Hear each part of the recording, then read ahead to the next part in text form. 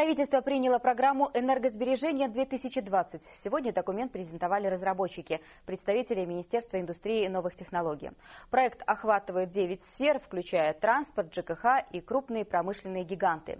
Последние потребляют больше половины всей энергии республики. На этих предприятиях будут внедряться принципы энергоэффективности. В Министерстве индустрии и новых технологий посчитали, что на реализацию программы потребуется более триллиона тенге, причем львиная доля денег – это это собственные инвестиционные средства предприятий.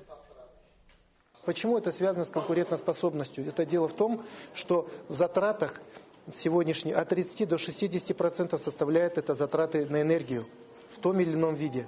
Соответственно, снижение потребления той или иной вида энергии, это зависит на конечную цену товара.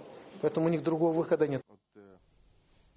Кроме того, цель программы «Энергосбережение-2020» – стимулирование населения покупать экономичные машины. Для малолитражек будут пересмотрены э, льготные налоги, а для более мощных железных коней – наоборот.